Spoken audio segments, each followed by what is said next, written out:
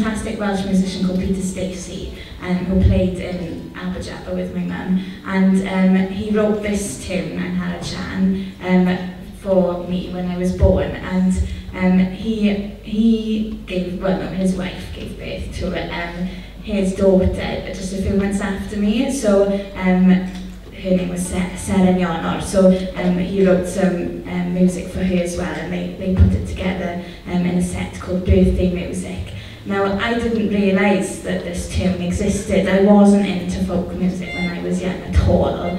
That's a whole other story how I got into it. But um, when I was 16, I met some um, wonderful um, Welsh musicians, the Cooper sisters from um, Pembrokeshire, and they started playing this tune, and they were like, you should know this, Angharad, and they started playing it. It's called Angharad Sian, and I was like, okay, that's my name, that's quite spooky. Um, and I had no idea of this, the existence of this tune, but it's actually quite a popular session tune now around Wales, and, and it even got its way onto the Rough Guide to Wales CD, my tune.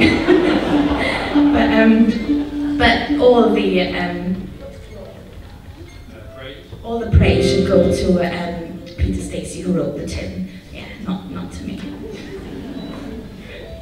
It's like Jack and Odie, that wasn't it?